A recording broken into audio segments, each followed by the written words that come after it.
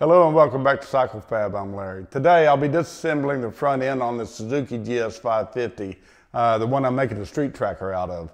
Then I'll be powder coating the lower part of the legs. So why don't y'all come on with me and we'll get to this.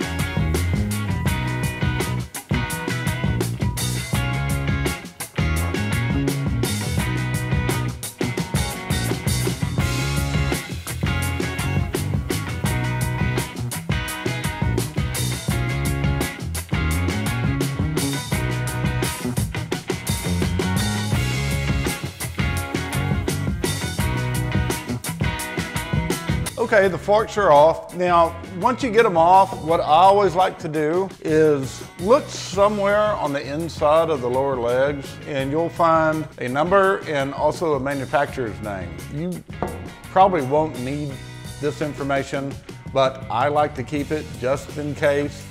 That way I know what type of forks they are, I know who made them, I know what the model number is on them. So in case I do need parts, it's a lot easier to find them that way. Uh, versus looking up, you know, hey, I've got a 1981 Suzuki GS550, I need this part number, what kind of shock are they, so on and so forth. Now these forks only have 14,000 miles on them, but these are old forks, okay, and they've been stored in the barn, at least since 1993.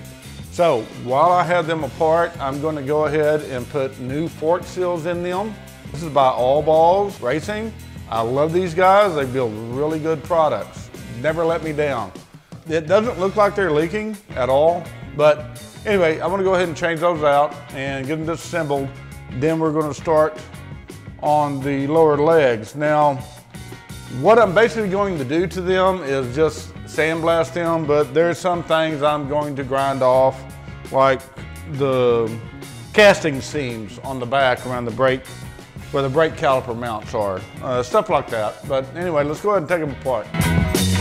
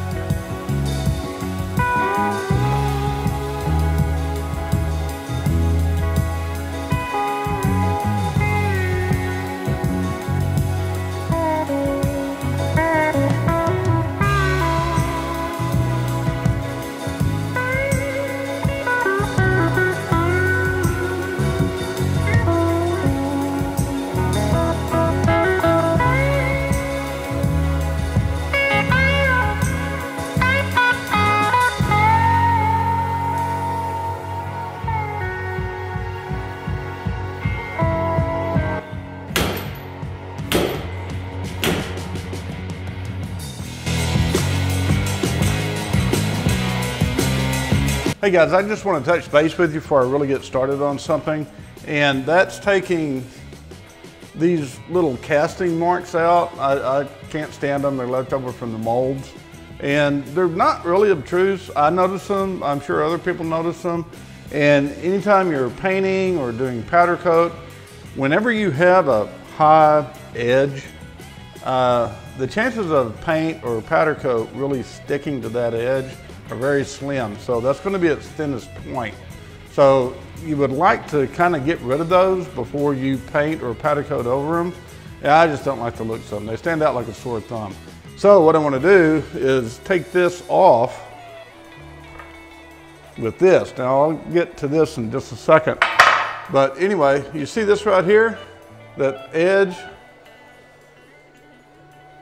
Easy to do. I mean, no problem whatsoever. This is just a red Scotch-Brite wheel. You don't have to apply a lot of pressure, just gently go over it, and it comes off really, literally in a few seconds. Now,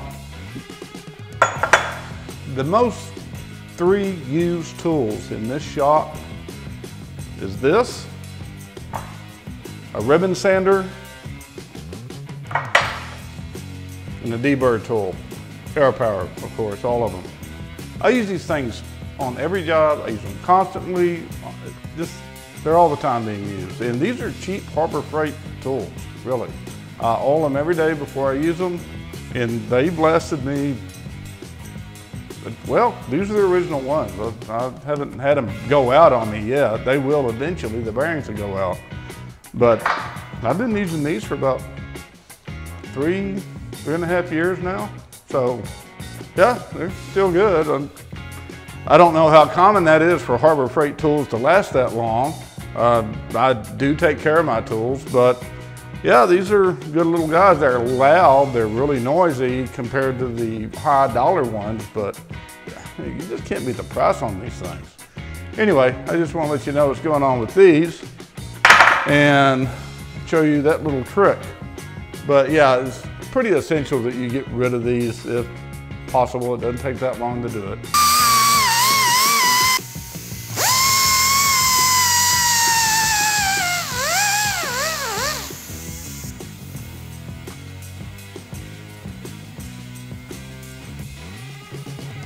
Well, I got them sandblasted. Now I have to degrease them and we'll powder coat them.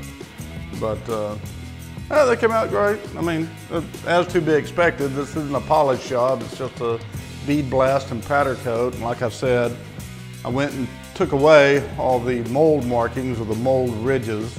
Anyway, it, it should turn out just fine.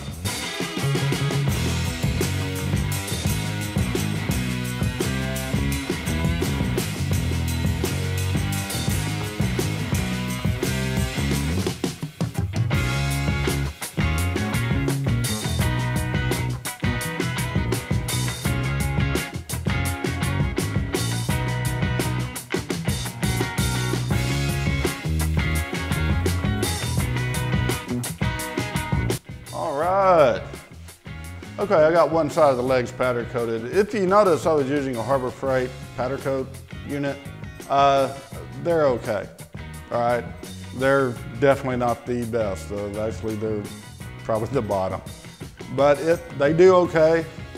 I'm going to get a better one. I just have not done it yet. I want to get the $1,000 unit from, uh, I can't remember their name right now. Anyway, but yeah, you know, if I'm going to do this professionally, especially a full frame, uh, Harbor Freight just, it's, it'll do it, but my God, you got to work with it. I don't know if you've noticed, but see this right here? This is an extra ground. I've got this to a ground rod about six feet long, hammered into the ground outside my shop. Uh, I would probably need that or probably go ahead and do it even with a more expensive unit, but this little guy right here needs all the help he can get, really. So if you're just getting started off powder coating and you want to kind of see if you like it, yeah, they're great for that and other things, but yeah, I really need to get a better unit. Now we get to go to the oven.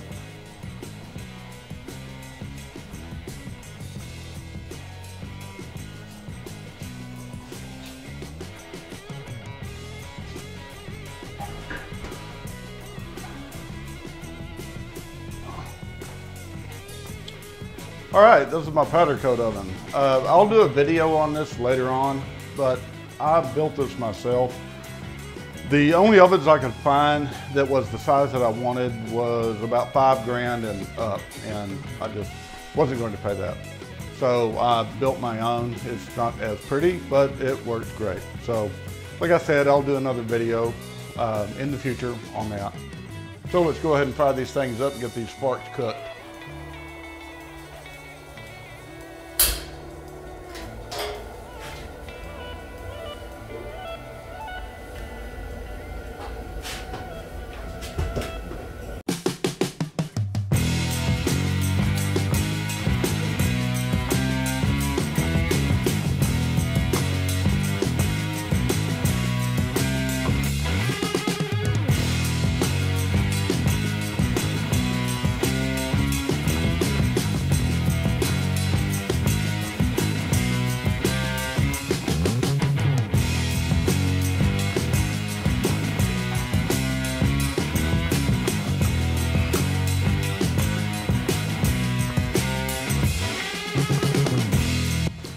Not too shabby.